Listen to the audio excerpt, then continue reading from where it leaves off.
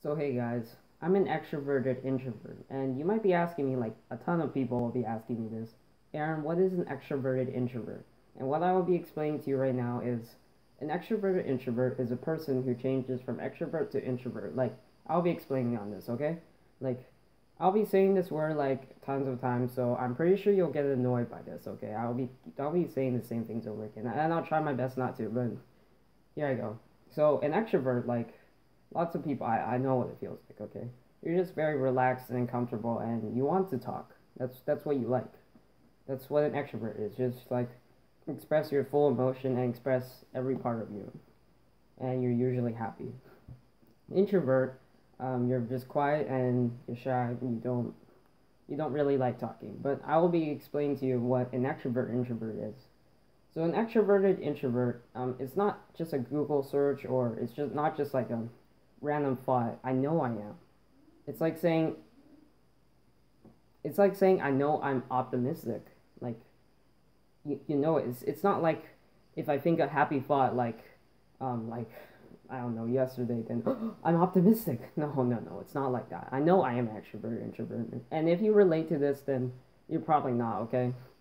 You're probably not an extrovert introvert because extroverted introverts are special and I know it because I can see around and I know. I can tell. I can tell by my friends there aren't a lot of people just like me. So we extroverted introverts like me. We have this type of social battery. We go from like extrovert to introvert and introvert to extrovert like super duper quick. We go like um, after like one conversation about like five minutes or so, we immediately go from introvert to extrovert. We immediately start going from like um, like just scared to say like stuff. And then going all the way up to like comfortable and relaxed and saying whatever you can think out of your mind. And then after like 10 minutes of not talking you immediately start to like become just depressed and like lonely and sad and shy and introverted and scary like that. And then when you're like extrovert introvert you you have this type of thought in your mind, but you don't say it. Like, for example, you think this funny thought in your mind, but you don't say it. So I'm gonna give you a joke right now. Um, your fast friend, your friend, like runs super duper quick, and I know this this joke might not be really that funny to you, but um, if you're in if you're in your introvert state, then you won't say anything. You'll you'll think this thing in your mind. You'll be like, you run fast like Flash. And then you're like, no, no, no, I shouldn't say it to him. It won't be funny. And then two seconds later, a guy comes up to him, comes up to your friend and says, you run just like Flash. And then everybody laughs. But you're, you're, you're, you're disappointed because you just, you just miss your chance of saying a joke.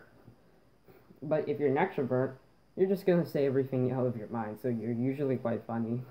Just like, you know and you're like more cool and more funny, more extroverted, more social, more relaxed, more comfortable, more happy, more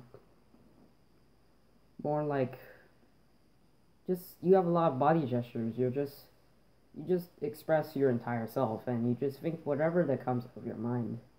And that's what an extroverted introvert is. Um, I don't think I have anything else to say about this, but um, if you can relate to me, then definitely I want I will want to make friends with you and you would probably want to make friends with me because that's what extroverted introverts are. Okay, bye.